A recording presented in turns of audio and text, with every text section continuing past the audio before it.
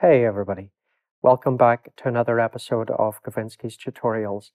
Today I'm taking a relatively short look at AU3 FX Dub, the new release by Jonatan Liljedahl. Just a couple of days ago I did a video on his Space app, which is a reverb. Here we're looking at his delay. And in the video on Space I talked a little bit about the background of those apps, so I won't repeat that here. I'd strongly recommend watching this video. Jonatan was also in the live chat for this video. It's worth a look if you didn't see it. Now, before I say anything more, let me say I've got four copies of Dub to give away to subscribers to the channel. And all the details of what you need to do to win are in the pinned comment in the YouTube comment section, the top of the YouTube comment section. It's very simple. And if you're not a subscriber, you can subscribe now. So take a look at that comment to see what you need to do. I will announce the winners after two days. That's what I always do. A couple of other things I always do. When I uh, randomly choose the winners, I change the pinned comment to put the winners' names there so you can come back a couple of days' time. If you didn't get a notification and you're wondering, did I win or not? You can take a look at that pinned comment. Another thing I do is I always put a thread in the AudioBus forum um, when I re release a video. So also when I choose the winners, I'll mention the winners' names in an updated post there. And if you win, I will directly send you a message through the YouTube comment reply system to tell you to contact me. Okay, so good luck, everyone. All right, now what we've got here is Korg Module Pro being played by Polyphase. And I'm putting a bit of Mixbox on it especially bringing in this tape snaps thing that I really like. I did a video on this also recently. I did a video on this too. Great app, Bleass Saturator. So here's the reverb using the large room setting, I think. Here's the delay.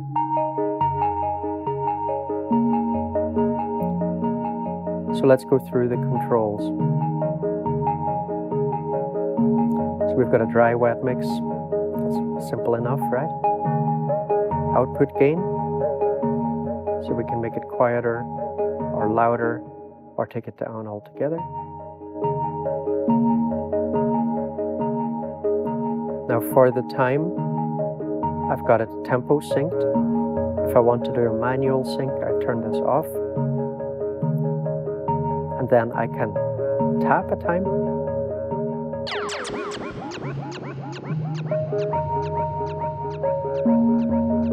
or I can adjust the slider. And I'm going to get all kinds of nice tape delay weirdness.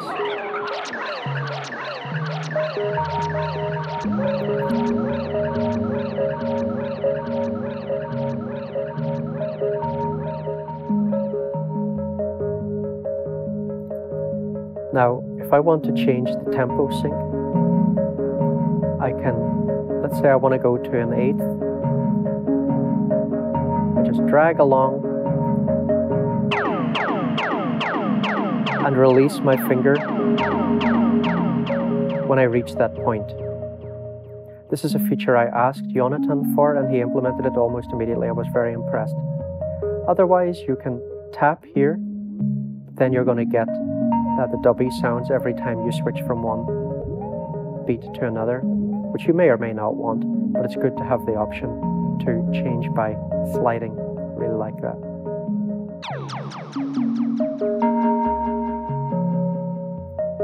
If we want less extreme sounds when we do that, we can just bring the feedback level down.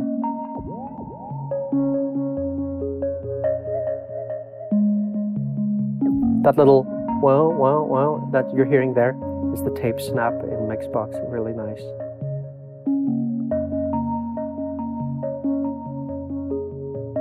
So we also have a fine tune.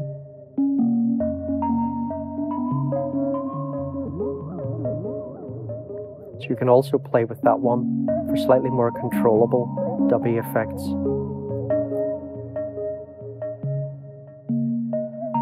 Now, if you put the feedback up high, you're going to have to pay attention to the high cut and low cut filters. if the high cut filter is set quite high and you put a lot of feedback, it's going to get out of control very quickly.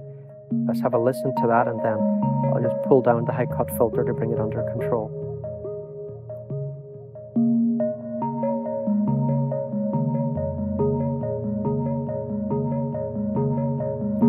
So this is going to get really, really out of control. So I can bring this down.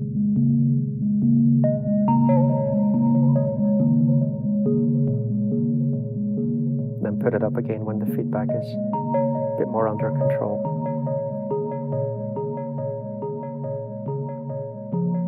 Now, at the moment, ping pong is on. Let's take ping pong off.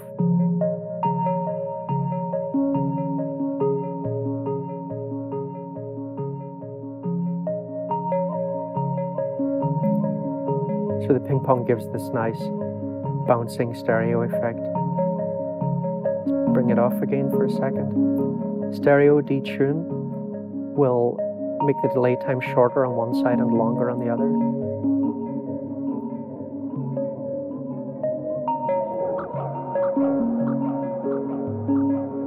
Bring the feedback down.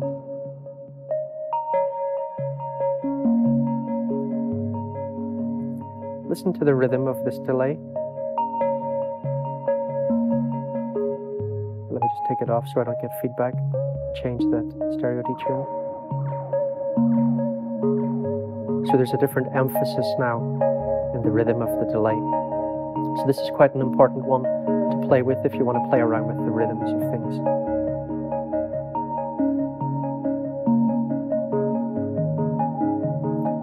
So if you want to use the high cut and low cut, you've got to make sure they're turned on.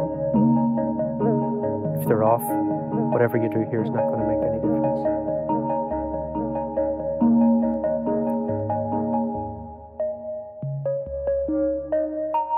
It's nice to play with these to vary up a performance.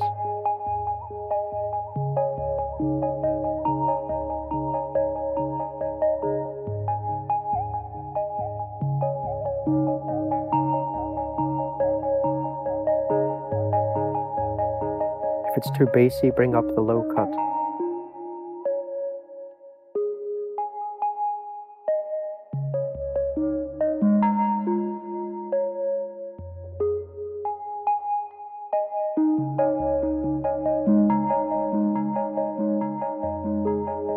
Tape noise with a choice of hard or soft clip. Personally, don't really hear any difference, mind you.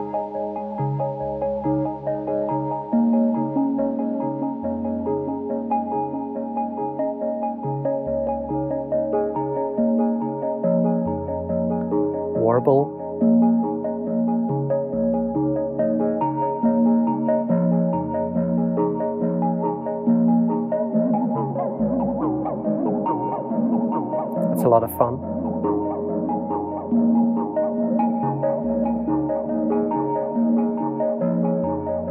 This type one is very noticeable, especially at higher rates. So that's sine. that's random. I tend to prefer the random one.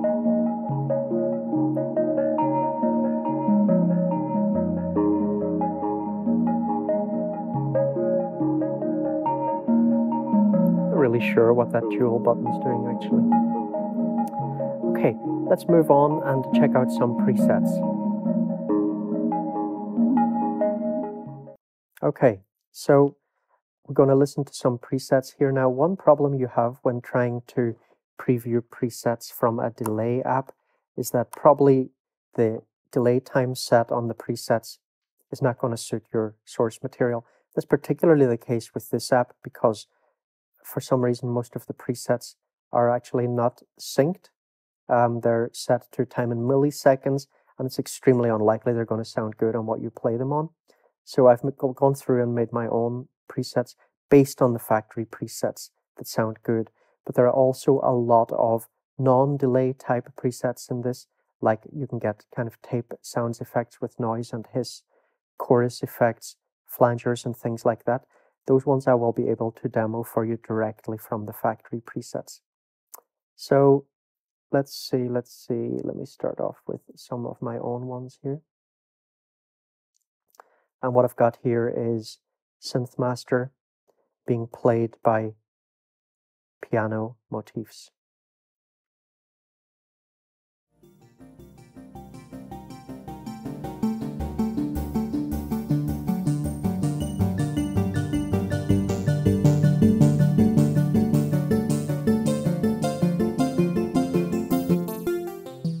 Let's try. Reverb. Delay.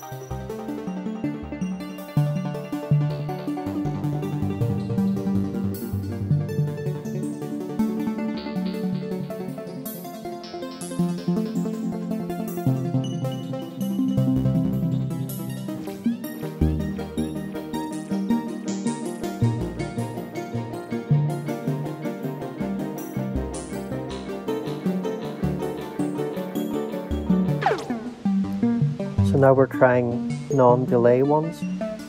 So we've got tape noise here.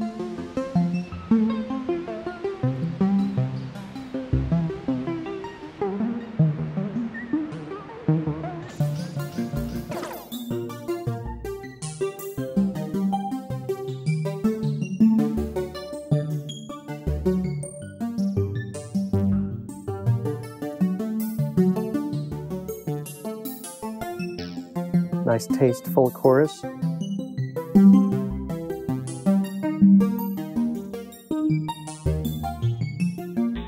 Now we're about to get a bit crazier.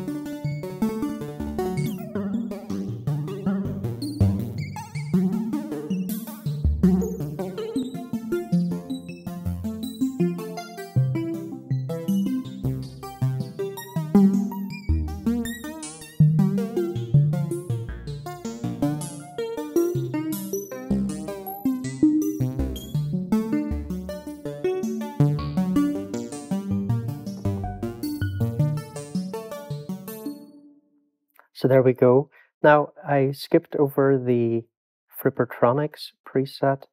Uh, let me just show you quickly what that is. So Frippertronics is basically just a five second delay.